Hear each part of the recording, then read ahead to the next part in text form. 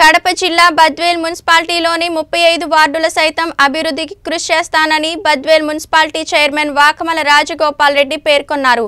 ఈ సందర్భంగా ఆయన స్థానిక వైసీపీ కార్యాలయంలో నైన్టీన్ న్యూస్తో మాట్లాడుతూ బద్వేల్ మున్సిపాలిటీలో ముప్పై ఐదు వార్డులకు గాను పది వార్డులు తమ వైసీపీ అభ్యర్థులు ఏకగ్రీవంగా అయ్యారన్నారు. అదేవిధంగా ఇరవై ఐదు వార్డులకు ఈ నెల పదిన జరిగిన మున్సిపల్ ఎన్నికల్లో ప్రజలు ఓట్లు వేసి భారీగా అభ్యర్థులను గెలిపించినందుకు ఆయన ప్రజలకు కార్యకర్తలకు కృతజ్ఞతలు తెలిపారు.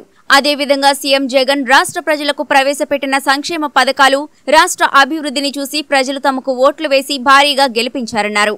అదేవిధంగా Kadapa MP YS Avinash Reddy Badvel MLC DC Govindareddy ఆశీస్సులతో బద్వేల్ మున్సిపల్ ఎన్నికల్లో వైఎస్ఆర్సీపీ విజయం సాధించిందన్నారు. Badvel MLC DC Govindareddy Badvel municipal ఎన్నికల ప్రచారంలో ఎండలు సైతం లెక్క చేయకుండా పట్టుదలతో తిరిగి అభ్యర్థులకు అండగా నిలిచారని ఆయన ఆశీస్సులతోనే ప్రజలు ఓట్లు వేసి అభ్యర్థులను గెలిపించారని ఇందుకు గాను ఎమ్మెల్సీ డీసీ గోవిందరెడ్డికి కృతజ్ఞతలు తెలిపారు.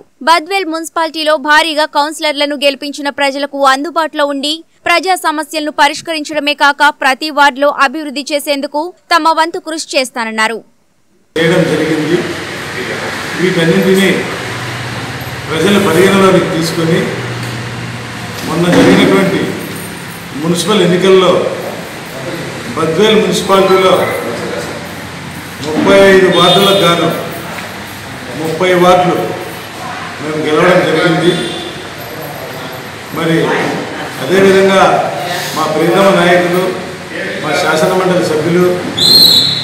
శ్రీ బీసీ గోవిందరెడ్డి గారు ఈ నియోజకవర్గానికి ఎప్పుడు అందుబాటులో ఉంటూ ఆయన సేవలను ప్రజలు ప్రత్యేకంగా గుర్తించి ఉన్నారు.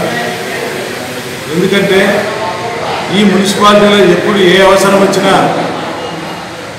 ఇమ్మీడియట్గా స్పందించి ప్రజలకు సేవ చేయాలనేటువంటి అంకిత భావం కలిగినటువంటి వ్యక్తి మా ఎమ్మెల్సీ బీసీ గోవిందరెడ్డి గారు.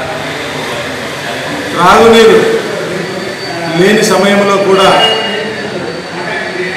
సొంత డబ్బు పెట్టి ఈ బెక్వేల్ మున్సిపాలిటీలో ఇంటింటికి తాగునీరు ఇవ్వాలనేటువంటి ఉద్దేశంతో రెండు వేల పంతొమ్మిదిలో ఒక చరిత్ర సృష్టించడం జరిగింది.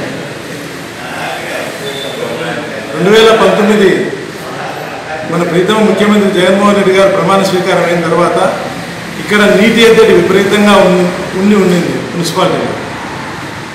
అప్పుడు సార్ తీసుకున్న నిర్ణయంతో ఆ రోజు నుండి ఈ రోజు వరకు బద్వేలు పట్టణంలో ఎక్కడ కూడా తాగునీటికి ఇబ్బంది లేకుండా బ్రహ్మాండంగా ఒక్క ట్యాంకర్ అంటే ఒక్క ట్యాంకర్ నీళ్ళు తోలకుండా ప్రజల దాహార్తి తీర్చడం జరిగింది. ఇటువంటి అనేక కార్యక్రమాలు మా ప్రీతమ ఎమ్మెల్సీ గారు చేయడం జరుగుతూ ఉంది కాబట్టే బద్వేలు మున్సిపాలిటీ ప్రజలు వైఎస్ఆర్ కాంగ్రెస్ పార్టీని ఆశీర్వదించారు.